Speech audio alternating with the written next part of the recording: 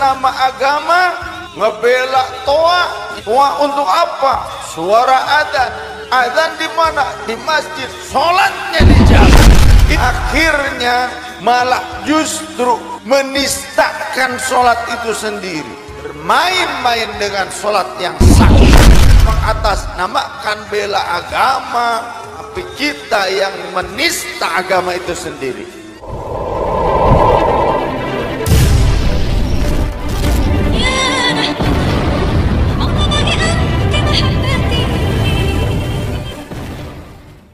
karena tujuan utamanya para ulama itu mewarisi ilmu Rasul dan ilmu Rasul itu tujuan utamanya visi misinya Rasul dengan syariatnya apa?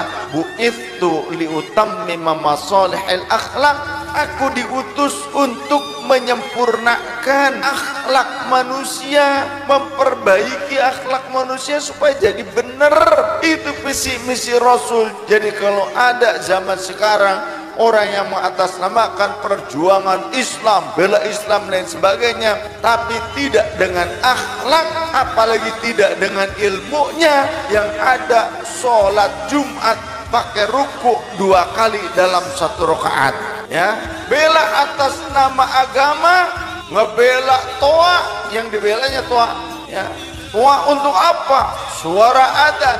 Adzan di mana? Di masjid. Sholatnya di jalan. Itu akibat tidak pakai fikihnya.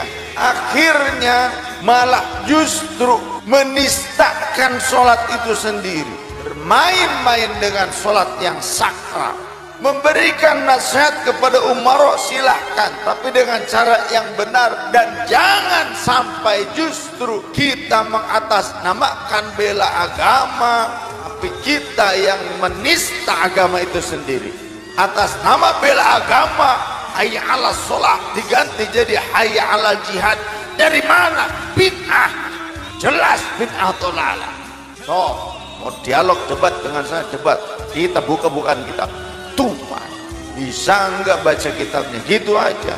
Banyak orang sekarang sok-sokan alim padahal khutbah kata bagian Rasul nanti di akhir zaman qalilul ulama kathirul khutbah. Ulama makin sedikit tapi orang yang pandai bicara itu semakin banyak. Dan diulamakan. Manajer perusahaan yang tenggelam kena lumpur diulamakan mendadak. Banyak di kita sekarang. Orang Indonesia mau diajak ke mana ini? Yang bukan ulama kok diulamakan? Tapi yang ulama ulama-ulama pesantrenan. Yang lama ngelotok di pesantren. Ilmu nahwu surab badai bayan mani matek balagu udah paham ngelotok lah usul fikihnya ilmu nasikh mansukhnya mansukhul ayat bil ayat mansukhul ayat bis sunnah mansukh sunnah bis sunnah sunnah bil ayat harus ngerti itu.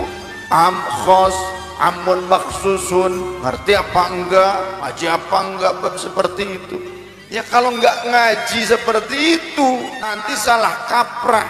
Seperti wahabi bilangnya mereka ahlus sunnah wal jawab padahal ahlul bid'ah wal gagabah gagabah itu sembarangan serampangan apa-apa dibilang syirik apa boleh bilang bid'ah